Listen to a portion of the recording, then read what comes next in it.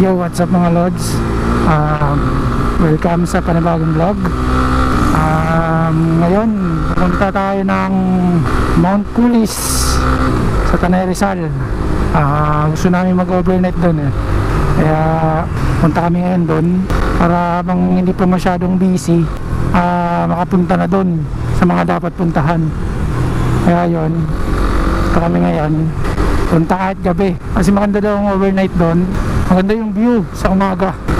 May kasama pala namin yung ano yung kagrupo ko sa Kamote.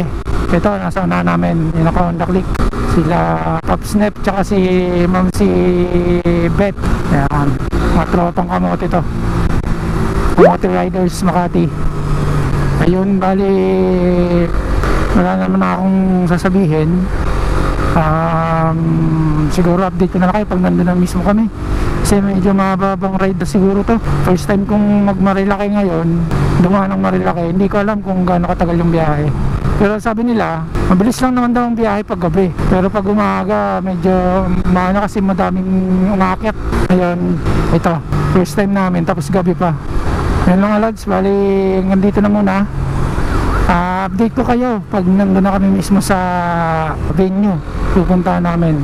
Sa ngayon nasa Pasig pa lang kami. Pasig C5 um, enjoy na lang sa ating ride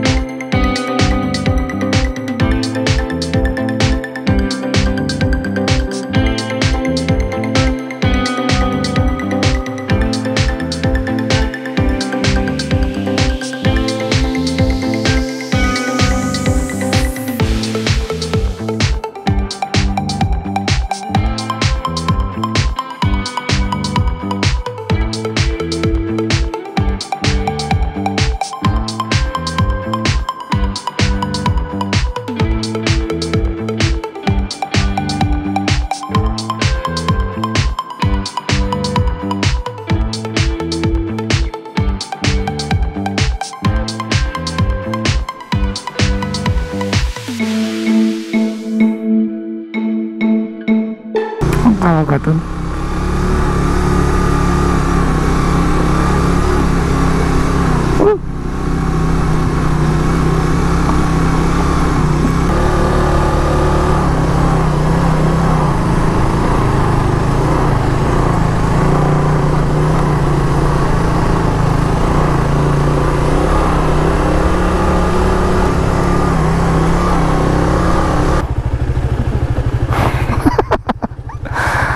solid ang ano natin ah.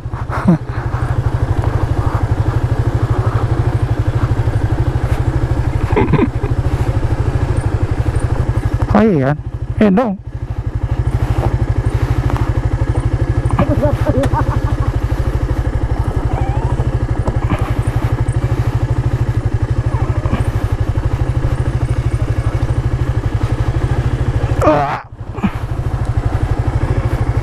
Sabi niyo makinis daanan.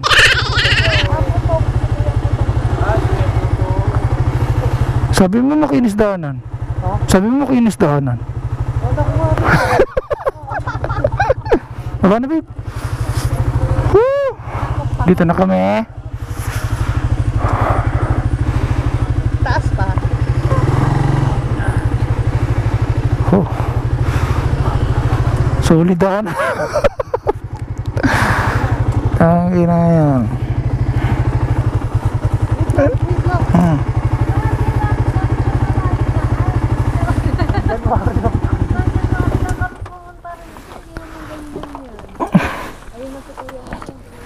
Yan mga lads, nandito na kami.